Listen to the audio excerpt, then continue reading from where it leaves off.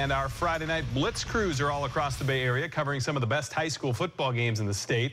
Tonight, the News Channel 8 Game of the Week features the undefeated Hillsborough Terriers versus the Armwood Fighting Hawks. Double A, Anthony Allred is at the stadium. So, Double A, the two head coaches are actually friends, right? So, how's this rivalry going to stack up?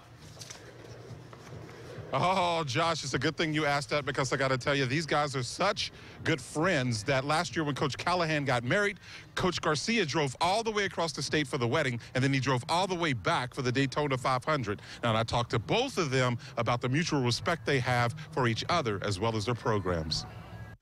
I have great respect for Sean. Uh, people think that we're rivals off the field, and that's not the, the case at all. We respect each other. We have a relationship throughout the year, not just, actually, we don't have a relationship on game week. That's the only week of the year that we really don't talk to each other. Love to beat Sean, especially uh, for this year. It's been since 12, since 2012, since we've beaten him. And, uh, you know, it's our turn.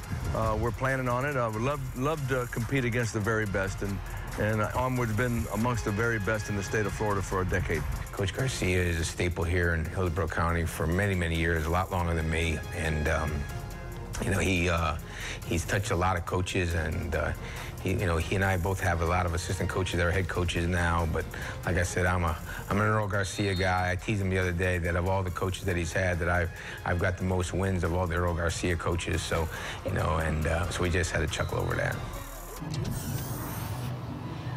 Now, if you didn't catch that, Coach Garcia, uh, well, no, no, Coach Callahan is a disciple of Coach Garcia, uh, but tonight the gloves are coming out and are off in our high school football game of the week.